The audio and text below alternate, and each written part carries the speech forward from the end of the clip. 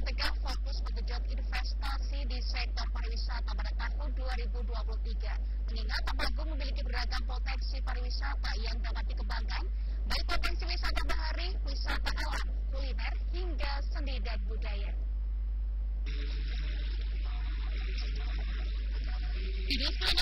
Kabupaten Temanggung, Jawa Tengah proaktif memasarkan potensi investasi di sektor pariwisata kepada existing investor maupun calon investor baik domestik maupun asing.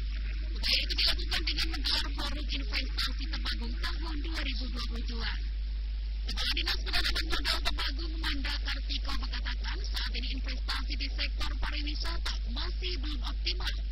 Banyak potensi pariwisata belum tergarap dengan baik, baik potensi wisata bahari, wisata alam, kuliner, hingga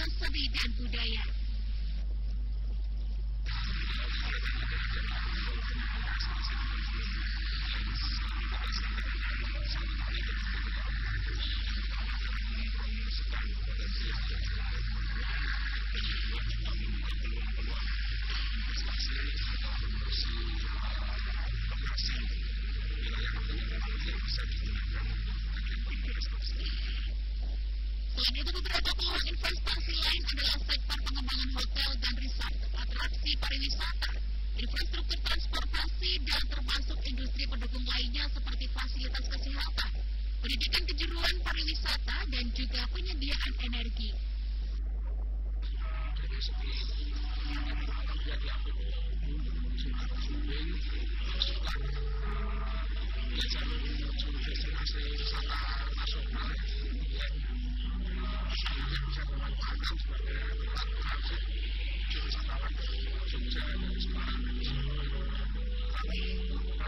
Di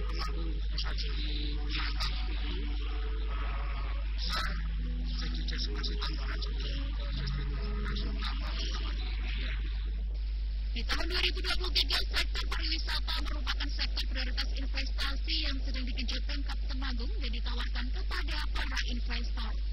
Rio Bri Santoso, Suara TV.